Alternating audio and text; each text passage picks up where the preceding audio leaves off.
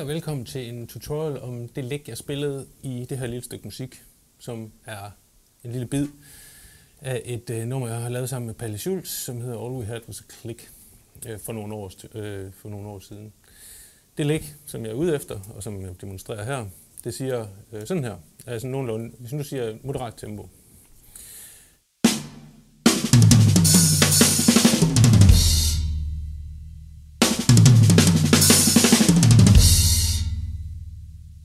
Og den del af lægget, som jeg er ude efter at demonstrere, det er den første del af det. Den sidste del af det er bare, øh, bare øh, 32 dele, som, er, øh, som har to på hver. Øh.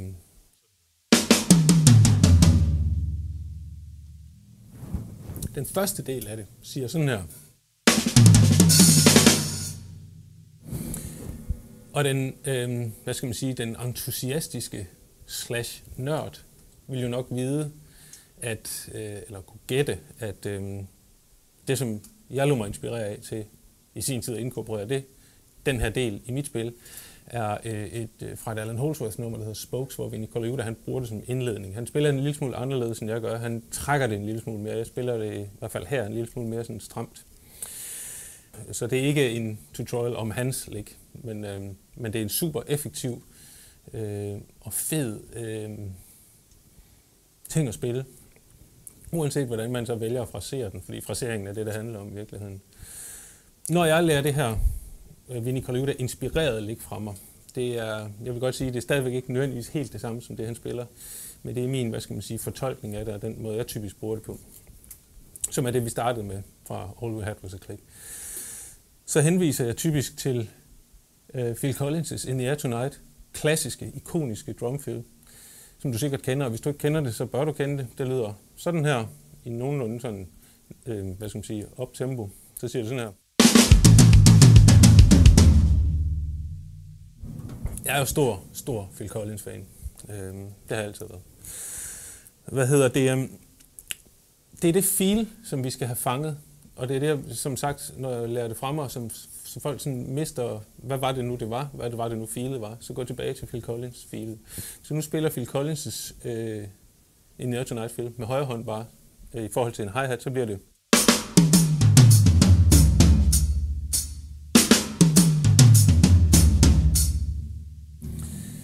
Og så gælder det egentlig bare om at fortsætte den her gruppe, øh, som vi starter med, som er sådan en tredelt gruppe.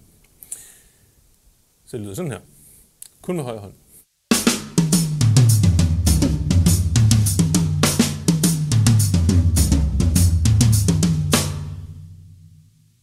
Så har vi grundfilet i det fil, som jeg egentlig startede med. Ideen er så, at så fylder man venstre hånd ind mellem de to højre håndslag. Så vi, i stedet for det, jeg lige spillede nu, i stedet spiller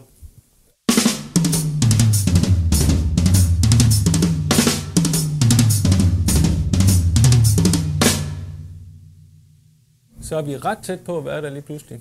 Øhm, men nu kommer vi så til den store udfordring. Og den store udfordring består i, at når vi spiller det her, så, skal der, så har vi nogle grupper på tre slag, som vi lige spillet op og ned af tarmerne her. Imellem dem kommer der to dobbeltslag, eller vil sige et dobbeltslag, to ghosted øh, lille trumslag. Øhm, så det langsomt bliver sådan her.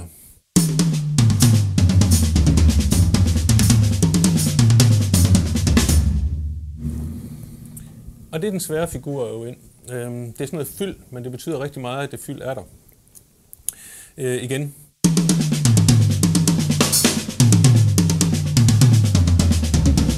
I forhold til et grundfil,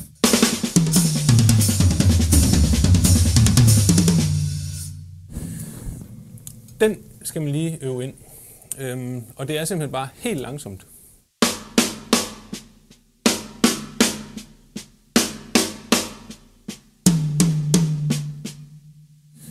Sige, der er fem slag, og når jeg spiller så langsomt som nu, så lyder det faktisk nærmest som kvintoler, men det er det ikke, når man tænker på fraseringen.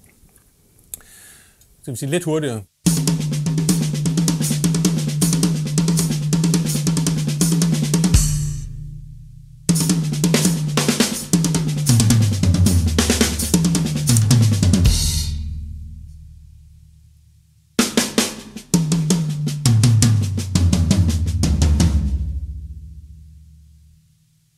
Ideen er så, at venstre hånd ikke nødvendigvis skal følge højre hånd. Så hvis højre hånd for eksempel siger, så kan venstre hånd blive på lille tom, for eksempel.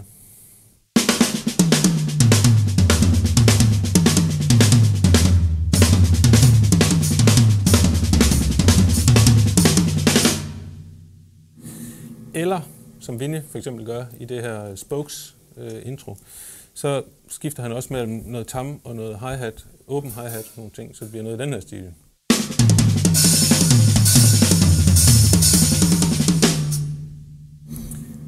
Så det vil sige, at venstre hånd, hvis man spiller nøjagtigt det, jeg spillede, for eksempel,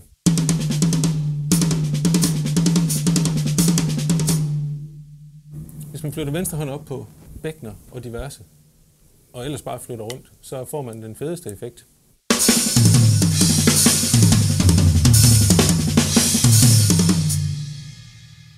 Og det er bare de fem slag. Man skal bare huske på fraseringen fra In the Air Tonight.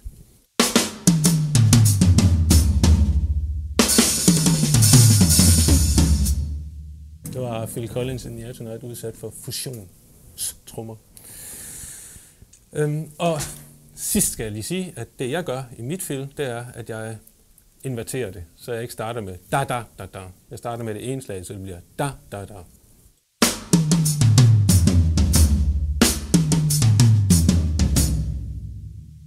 Men altså det samme.